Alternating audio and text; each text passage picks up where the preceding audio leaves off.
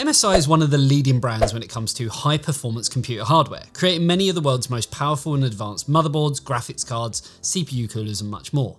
However, today we're keeping our focus purely on their motherboards, with the release of the mighty Z790 Tomahawk Wi-Fi DDR4. I'm a big fan of the Tomahawk series too, albeit I usually buy one of the B series boards, but it's great to see a more high-end Z series Tomahawk board in our office. But before we get into that, here's a quick word from this video sponsor. Hello mate, you alright? Yeah, just got all the bits from my banging new gaming PC. Just got to put it together. It's going to be so much better than yours. Oh, right. What did you get then? The latest Intel 12th gen processor, a feature packed motherboard, and 32 gig of DDR4 memory. See, miles ahead of yours. you you realise that board needs DDR5 memory, don't you? Don't tell me you went and bought the wrong stuff. DDR4 is so 2014. I can't believe you was that stupid. What? No, you're joking. What should I get then? For me, I'd be looking at Corsair's newest Vengeance DDR5 kits, or if you're wanting that all-important RGB, then go for the Dominator Platinum RGB. Oh, ah, you are a lifesaver, thanks, but where can I find out more? By clicking the link in the description below, of course. and you call me the stupid one. So the MSI Z790 Tomahawk Wi-Fi DDR4. Though it's not one of the top tier boards, instead being part of the MAG series, it's still very well equipped featuring support for both the latest 12th and 13th generation Intel CPUs, which should also get the performance boost they need thanks to a comprehensive 16 plus 1 plus 1 power design. So pushing big boost clocks or overclocks should be fairly easy. Of course, you do get some robust heat sinks too, helping to cool down those VRMs, the chipset, and the M.2 slots to ensure that performance can be sustained. Fast not enough, you also get the latest PCI Express 5.0 technology, four Lightning Gen 4 M.2 slots and USB 3.2 Gen 2x2, as well as both Intel 2.5G LAN and Wi-Fi 6E. Should also be noted that this motherboard comes in both DDR4 and DDR5 variants, and we have the more affordable DDR4 version at our disposal today. So let's start with the packaging. The box is really nicely designed and follows the aesthetic we've seen on previous Tomahawk products, playing on the Tomahawk missile theme and a more kind of industrial military look. It's a cool box though, and you can see it has the usual Windows 11 support, TPM 2.0, and the Z790 chipset, bringing the latest features to the board.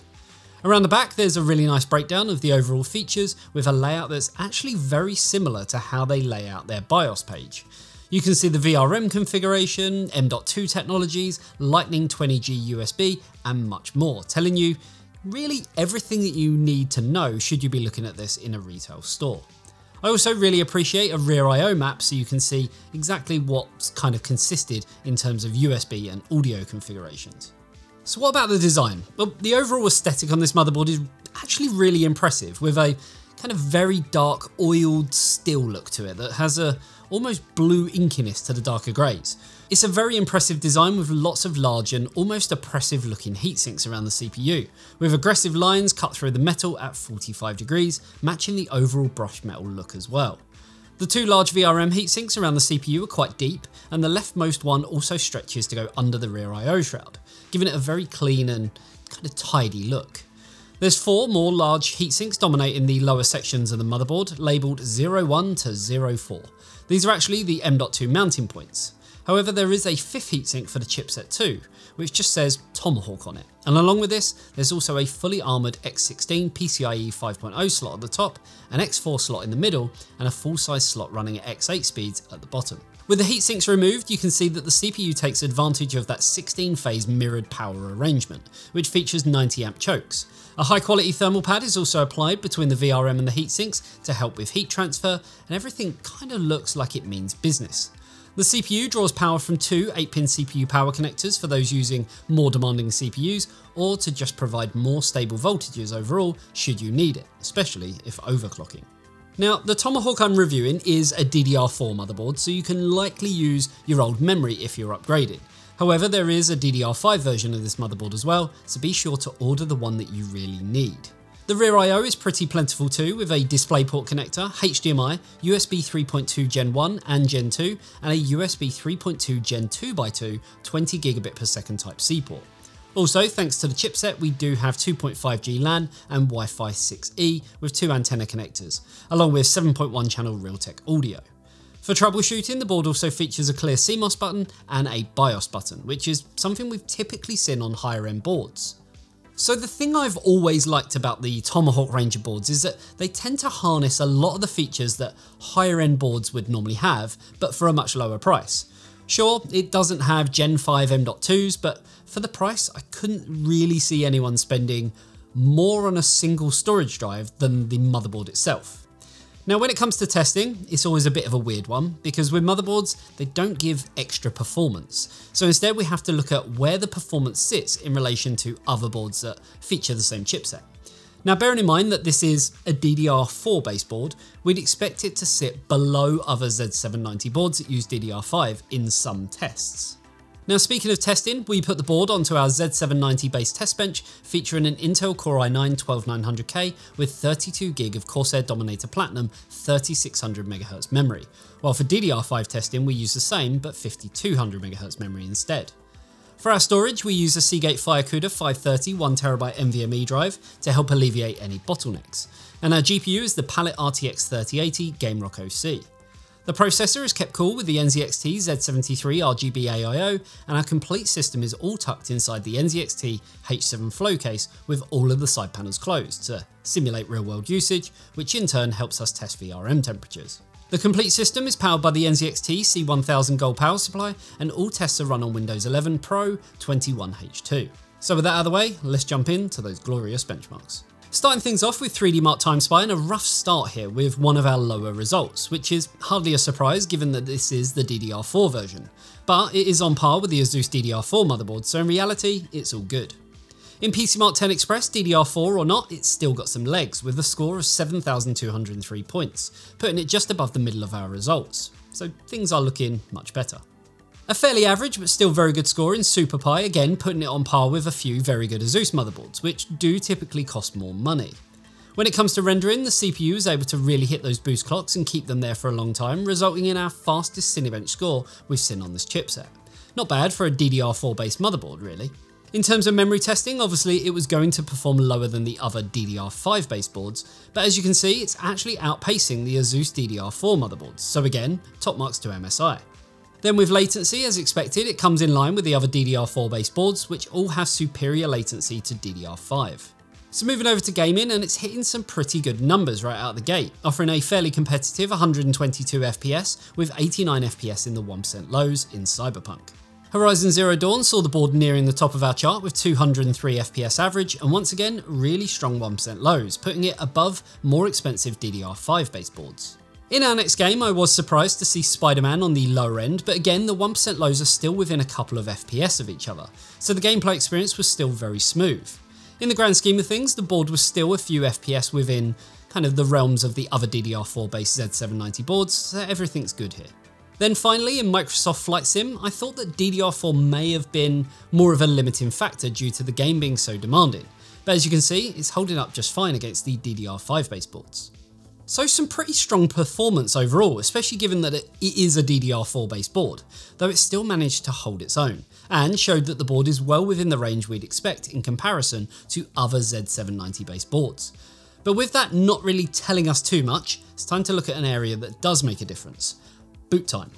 It's here where I'm not quite sure what to say, as booting the system up into Windows with this board from a cold boot was on the slow side, at just under 45 seconds, being the slowest Z790 board that we've tested, coming in slightly slower than the Asus ROG Maximus Z790 Extreme, which is a fully feature-packed board, hence why you'd kind of expect it to be quite slow anyway.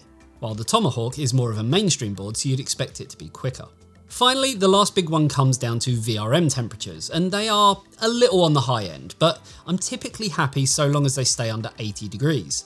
There was clearly no sign of CPU performance being throttled either, so the board is well built to sustain these loads for a long period of time. Plus, this is after one hour of Prime 95, absolutely pummeling the CPU. And if you're a gamer, you're unlikely to ever really see temperatures push this hard, as CPUs have spikes in gaming, while during Prime 95, it's at maximum load for the whole hour. Now, typically with high-end VRMs, we normally see higher than normal power usage, and the total system power consumption is, again, high. But clearly that's resulting in some good CPU performance. And even with the warmer VRMs, it all seems to be working within reasonable tolerances. What this means for operating costs is that at load, it is a little more expensive to run than most, but the idles and more real world loads result in performance and cost similar to that of most of the others. It's a very similar story in the UK with idle cost being right in the mix with other boards, while load cost is a little higher, but only slightly above some of the competition from Gigabyte and Asus. So if you're wanting to buy a Z790 Tomahawk Wi-Fi DDR4, you'll be looking at around $275 in the US or 290 in the UK. However, if you want to spend a little more, you can get the DDR5 version instead, but keep in mind you will need some new memory if you're upgrading from an older platform. So where do I stand on it? Well, it's not a cheap motherboard, but it does have a lot of heat sinks and connectivity that are going to be worthy investments for more, let's say, enthusiast focused users.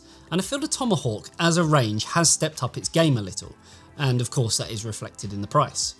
So being honest, I really do like this motherboard, as it's got a really aggressive yet somehow understated aesthetic that should look great in virtually any high-end PC build. There's just a few niggly little things, and like most motherboards, it comes down to the VRMs. Now, as aesthetically pleasing as it is, all those heatsinks are practical as well, ensuring that the huge amount of M.2 mounts can deliver better performance.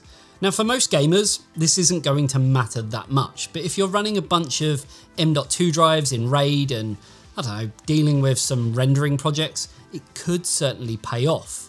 So is this aimed more at those types of users or gamers, or maybe somewhere in the middle. What is interesting is that this motherboard comes in both DDR4 and DDR5 variants, and that there's virtually no other difference between them. Most impressively, it was surprisingly competitive with DDR5 motherboards in most of our testing, especially when it comes to CPU heavy rendering tasks in gaming. However, there are a few more calculation based processes where faster memory can actually be an advantage. But if you're just, I don't know, cruising Reddit, playing CSGO and watching Netflix, then yeah, DDR4 will do just fine. The overall connectivity does push the price up somewhat on this motherboard, so unless you really need four M.2 slots, USB 3.2 Gen 2 and USB 3.2 Gen 2x2, then a lower end model could actually save you a significant amount of money without compromising on the CPU performance. Those Type-C 20 gigabit per second ports alone do add a lot of cost. That being said, PCIe Gen 5, Gen 4 M.2, and the latest and greatest USB formats, along with what the chipset gives us through 2.5G LAN and Wi-Fi 6E, are all killer features for those who, I don't know, move around a lot of large files. So that's why I'm thinking maybe this is aimed more at those types of users. And I think this could really come down to personal preference based on your needs. With the DDR4 motherboard coming in a little cheaper, it is a great option for those wanting to upgrade as you can likely use your old memory kit on a newer motherboard. And the performance is clearly still very good. However, memory prices are extremely favourable right now, so I don't know, if you do upgrade, perhaps look at the DDR5 version anyway. It's kind of the best time, if any, to do it, right? Whichever you choose though, this is one of the best looking motherboards out there with really fantastic connectivity and competitive performance all around. And uh, yeah, that about wraps up this video. Hopefully you enjoyed it. If you did, a like and a sub to the channel would be amazing. And if you love what we do, then consider supporting us over on Patreon, where you'll get access to tons of goodies, including exclusive behind the scenes content, super special area on Discord, some of our testing data and things like that as well, and much, much more. There's also an exclusive monthly live Q&A session. So there you have it. Thanks for tuning in, and I'll see you in the next one. See you later, guys.